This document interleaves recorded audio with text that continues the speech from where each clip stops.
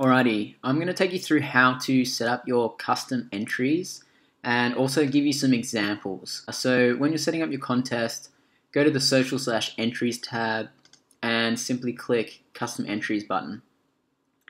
Here you'll get taken to this area where you can create some custom entries. You can pretty much do anything you want here. Ideally what you need is a title, so pretty much a question asking someone to do something. You can add some more information about what they need to do or add some more instructions there. You can also add the URL that they need to go and complete this goal on. And then you can also ask them a confirmation question. So you can sort of validate that they actually went and did the task and all of that is exported in the CSV. So you can get all those answers if you like. You can also set your number of points for this. So in this example here, you can see that uh, we're using a join a Facebook group.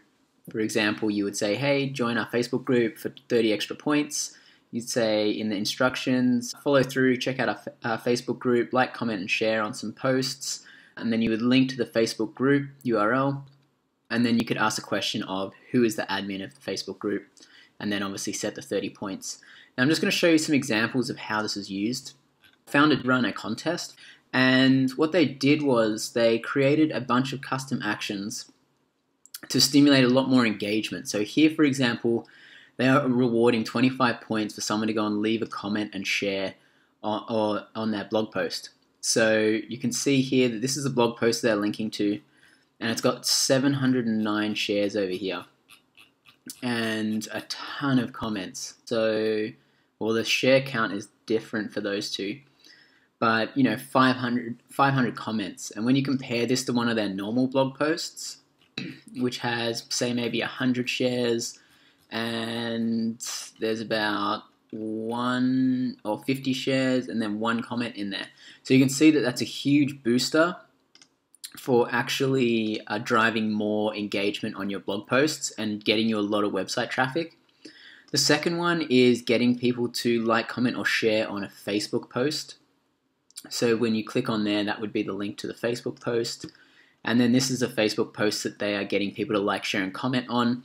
You can see here they've got a little bit over 300 likes, uh, you know, almost 400 comments, and nearly 200 shares and you compare that to one of their normal blog, uh, one of their normal Facebook posts, and they get usually 20 shares, 120 likes, none, 3, 23. So you can see how using that custom entry to stimulate engagement on your post is extremely valuable.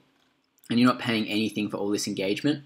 The benefit of that is also that once you uh, actually decide to turn that post into an ad, you then already have an ad that has a ton of engagement on it. Now, the third interesting custom entry that these guys used was, uh, you know, talk to our Facebook AI Messenger. So that's just a few examples of how you can use the uh, custom entries with VYPER. The other things you can do is fill out comment, uh, add a Google form or something, get people to fill out a survey.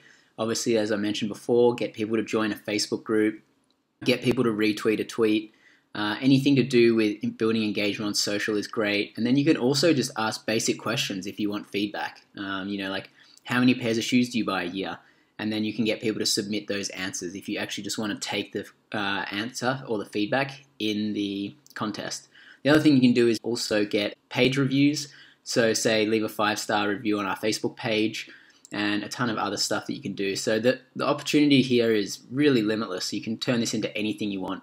So look forward to seeing some contests out there with some custom entries and uh, happy growth hacking.